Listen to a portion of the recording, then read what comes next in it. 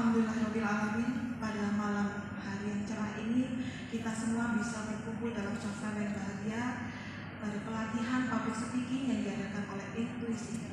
Dan yang saya hormati Ibu Ketua Ikatan Istri Partai Golkar Jawa Timur, Ibu Lulut Sarmuji, yang saya hormati Ibu Wakil Wali Kota Malang, yaitu Ibu Eli Edistovian, yang saya hormati juga Ibu Wakil Wali Kota Pasuruan, Ibu Ani Edi Wibowo.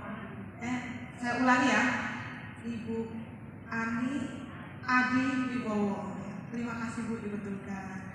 Dan juga yang saya hormati Ibu anggota DPRD Kabupaten Blitar, yaitu Ibu Hajah Ani Wahyuningsih.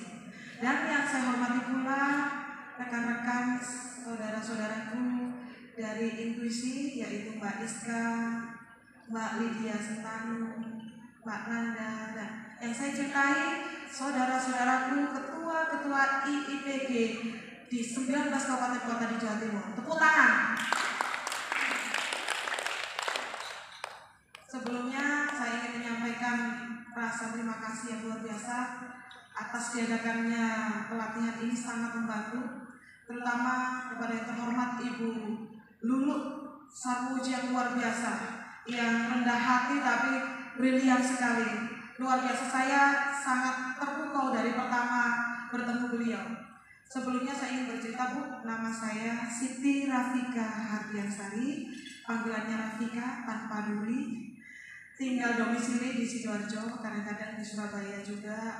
Dan alhamdulillah dulu saya ingin cerita ya, 23 tahun saya berada di suatu partai. Dan kebetulan di tahun ini saya diajak oleh ketua Golkar Sidoarjo dan teman-teman DPR RI untuk gabung ke Golkar.